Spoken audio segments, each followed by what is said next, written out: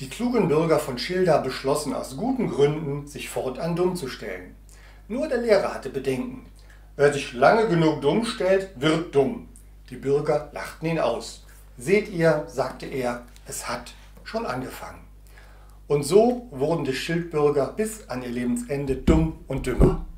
Hallo, schön, dass Sie da sind. Mein Name ist Bernd Gems, ich bin Ingenieur und Wirtschaftspsychologe, beides mit wissenschaftlichem Abschluss. In diesen beiden Fachgebieten bin ich als technischer und wirtschaftspsychologischer Fachberater, Trainer, Coach und Dienstleister für einzelne Menschen und Gruppen selbstständig tätig. Die neurowissenschaftliche Forschung gibt dem Lehrer recht. Was im Gehirn nicht genutzt wird, löst sich nach und nach auf. Von Intelligenz bleibt nur der Glaube übrig, intelligent zu sein. Lernfähigkeit verkümmert zu dem Satz, ja, aber ich lerne doch täglich dazu. Nein, was uns das Leben vor die Füße wirft, ist kein Ersatz für Aus- und Weiterbildung. Wer aufhört zu lernen, ist alt. Er mag 20 oder 80 sein. Dieses Zitat von Henry Ford wird auch von den Neurowissenschaften gestützt. Demenz trifft Menschen mit mentalen Reserven, wie sie beim Lernen entstehen, kaum. Und als wäre das noch nicht genug, gilt Lernfähigkeit heute als der zentrale Dreh- und Angelpunkt für die meisten Vorstellungen eines guten, erfolgreichen, erfüllten, langen und glücklichen Lebens. Wir wissen aus der Sozialforschung, Bildung und ein gelingendes Leben hängen zusammen. Zu spät ist es dabei nie. Wer im Alter von 70 lernt, Konflikte aus der Vergangenheit aufzulösen und sei es alleine mit sich selbst, wird ein besseres Restleben haben als ohne diesen Lernerfolg. Gute Argumente für echtes lebenslanges Lernen gibt es wie Sand in den Wüsten. Warum stürzen die meisten von uns sich also nicht begeistert auf die tausend Vokabelkärtchen der Sprache, die schon immer lernen zu wollen, sie behaupten? Warum fallen uns schlagartig so viele andere total wichtige Dinge ein, die dringend erledigt gehören, sobald wir mit dem Lernen anfangen könnten? Wenn wir uns frisch verlieben, haben wir doch auch auf einmal Zeit. Wer ist der große Gegenspieler von Lernen?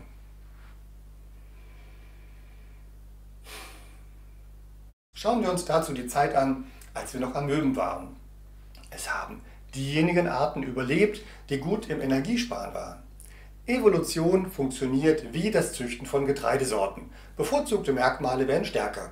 Viel Energie futtern, wenig verbrauchen heißt unsere Devise, deren Ergebnisse wir täglich auf der Straße sehen können. Bei der Jacobs University in Bremen wurde gezeigt, dass das menschliche Gehirn im Ruhemodus rund 20% des Körperenergieverbrauchs ausmacht und dass intensives Denken, wie es echtes Lernen nun einmal ist, diesen Wert auf bis zu 90% ansteigen lässt.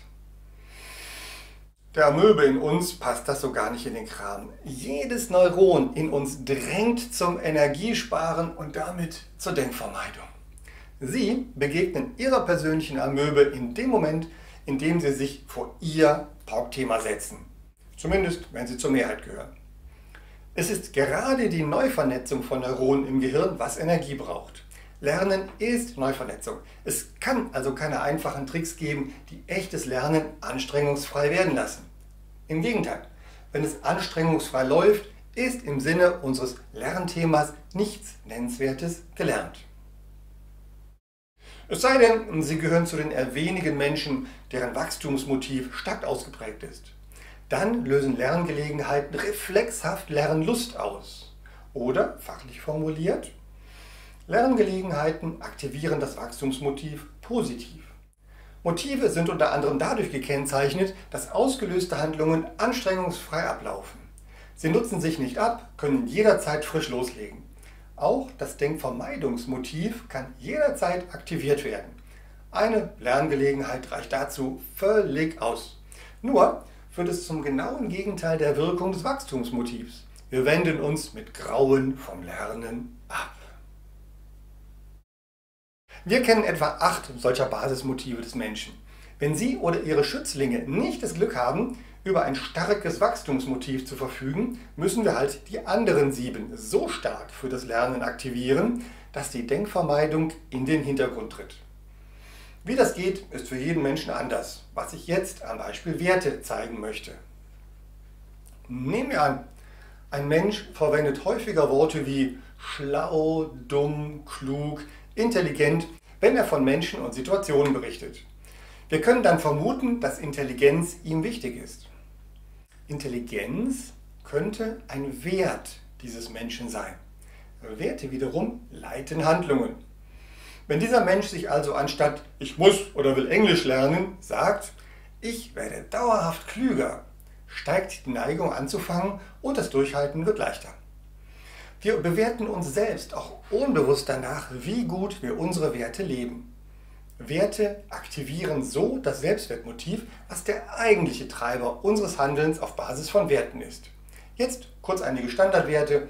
Drücken Sie die Pausentaste zum Lesen.